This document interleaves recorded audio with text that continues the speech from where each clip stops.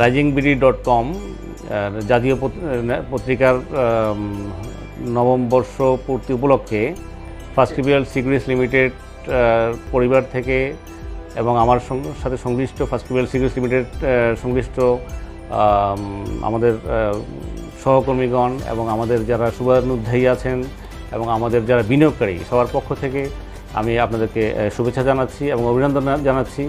আপনারা ইনশাল্লাহ দশম বর্ষে পদার্পণ করেছেন।